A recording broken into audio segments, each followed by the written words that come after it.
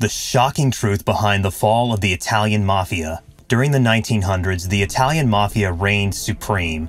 From extortion to prostitution and even loan sharking, the Mafia ran the streets of New York City.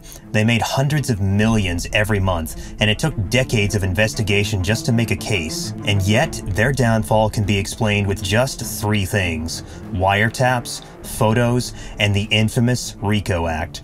Watch until the end to uncover the shocking truth behind the fall of the Italian Mafia, only on Crime Cartel.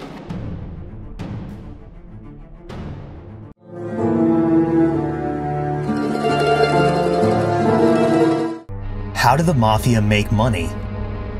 It took the feds years to deduce how the Italian mob had such an influence on people, and better yet, to understand how they carry out their operations. The truth is, the Italian mob partly got their money from the rich, and they used their influence of various unions to get what they want. The mob had a hierarchical model of power, and the lower levels had strong control over the worker unions. The construction union, gas station staff, garbage union, and so many more labor unions were pawns of the mob's control.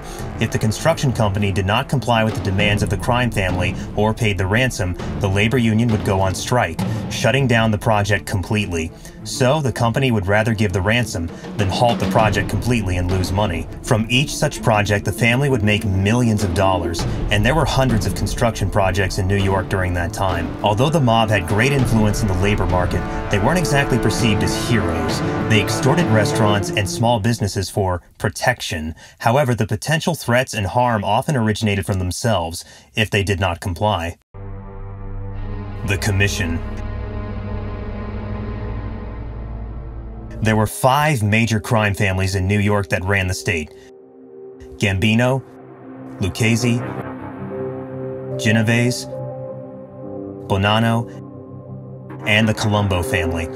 But unlike what you might expect, they were highly organized, and despite being different, these families complied with one another. Now, I'm not saying that things were all sunshine and rainbows. They did have their differences, but at the end of the day, the families respected the commission, and all the differences, they were discussed in the commission. You could see the commission as the secret meeting of the bosses from the said crime families, where they would discuss crimes, plan the next steps, and conduct their business. Charlie Lucky Luciano from the Genovese family was the head of the commission, and he was the one who came up with the idea as well.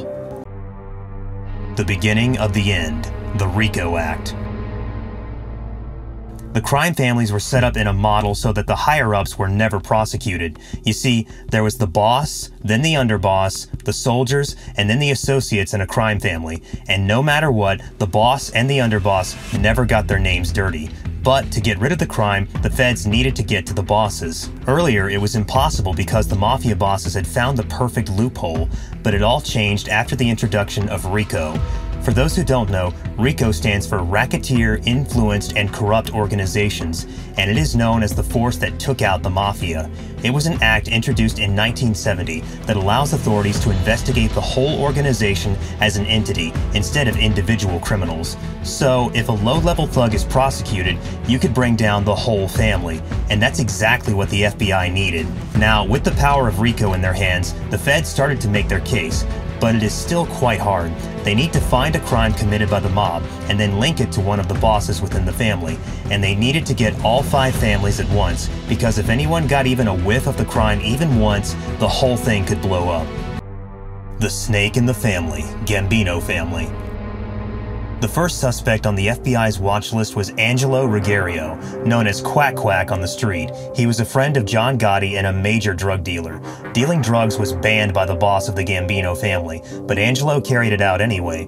Due to the drugs, the feds were already investigating him, so it was not hard for the authorities to get the court allowance to tap him. They messed with his telephone line and the serviceman inserted a tap wire. As the feds expected, there were a bunch of conversations recorded on the wire about illegal activities and drug trafficking, so Angelo Ruggiero was surely going down. And to make matters sweeter, he was often spotted meeting with Paul Castellano, the boss of the Gambino family. This was enough for the FBI to get the court's approval to investigate and wiretap Paul. Things finally started to move in the FBI's direction. Due to the bug installed in Castellano's TV, more than 600 hours of him talking about illegal activities were recorded. The Monopoly, Lucchese family. Salvatore Avellino became the reason for the rise of the Lucchese family in the sanitation industry. He was a soldier level member of the Lucchese family. He managed the million dollar garbage front of the family. The mafia had essentially set up a monopoly in the industry of garbage collection, and since there was no competition, they asked for whatever price wanted from the customers. Obviously, the business owner had no other option but to pay whatever was asked, and this brought millions of dollars to the family. The authorities got permission to wiretap Sal, and a bug was installed in his car. During the investigation, he was seen driving with Tony Ducks, the boss of the Lucchese family. Thanks to the bug, hard evidence was formed to take out the Lucchese family as well. Two families down, three more to go. Right now, I'm going to make you an offer you can't refuse. Would you like to join our crime cartel family? It is a deal that you won't get anywhere else. You get the best crime documentaries out there, and in return, all you need to do is like this video and subscribe to Crime Cartel. The Supreme Power, Genovese Family. This was the biggest crime family in the USA during the 1980s, which was led by Fat Tony. It was during the investigation of Tony Ducks from the Lucchese family that the feds found out that Fat Tony had frequent meetings with other families of the mafia. It was strange for the authorities at first, since the idea of these families working together was unexpected. But the facts spoke for themselves. Palma Boys Social Club was the meeting spot, which was quickly bugged by the authorities, and many recordings against crime families were successfully recorded. All thanks to Tony Ducks. Now, the authorities had more knowledge than ever. They got to know that the families do indeed work together and that there is a supreme power in the mafia families. The goal to eradicate the bosses seemed closer, the facts became clearer, and the truth harder to refute. The underdog, Colombo family. Remember when I told you about the control of the mafia over the construction union? It was all thanks to Ralph Scopo, who was a soldier level member of the Colombo crime family. He had an extreme command over the labor union, after all. He was the president of the District Council of Cement and Concrete Workers Union. Due to his vital role in controlling the union, Ralph, like an underdog, earned himself a seat at the table of the commission, and since a soldier was sitting with the bosses, the FBI zoomed into him for further information. The Rule of Successor, Bonanno Family. In order to take over the mob family, you need to eliminate the current boss of the family. And in order to do that, you need to have the blessings of the other mafia families. That's right, the other bosses should allow you to dispose of the current boss. Spoiler alert, that's what happened in the case of the Bonanno family. You see, the boss of the Bonanno family, the cigar Carmine Galante, was out for lunch when he was shot. Ironically, he had a cigar in his mouth when he died, justifying his nickname. The getaway car was found by the police, but no evidence could be found. However, within an hour of the murder, the underboss of the Bonanno family, Anthony Whack Whack Indelicato, was seen celebrating with the Genovese family. Considering the rule of the successor, it became clear that Anthony murdered Galante to take over the Bonanno family.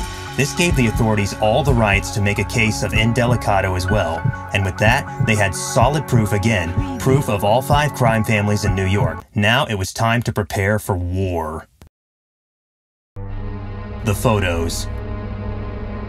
Now that the authorities had everything they needed, they wanted the final nail in the coffin, something to prove their theory of the commission to the authorities, and they got just that. The FBI started to push their informants for any detail about the secret meeting of the family bosses, and on the 15th of May, 1984, they were successful, as if years of hard work were about to pay off. After a meeting of the commission, the mafia bosses were leaving, and the FBI was able to photograph all of them one by one. It was everything they needed to get rid of the bosses, and all of them were eventually arrested. End before the end. Paul Castellano from the Gambino family had a rule if you deal drugs, you're dead. And it makes sense because drugs were the reason why John got on the FBI's radar in the first place. Since Angelo's secret side hustle was no longer a secret, his life was in danger. And guess what he did to escape his death? He killed Paul Castellano as soon as he got out with a $2 million bail.